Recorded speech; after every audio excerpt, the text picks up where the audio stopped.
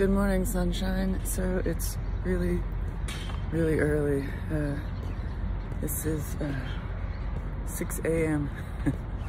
and uh, this is day one of the shoot, the film. So we're gonna go have some fun and act.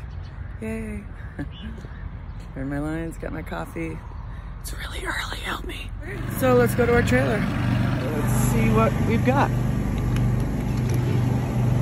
Oh, okay. Uh, broom closet, basically.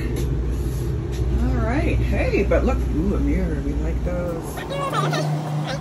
It's not quite the size of Brad Pitt's trailer, but it's totally gonna do, we're gonna rock this.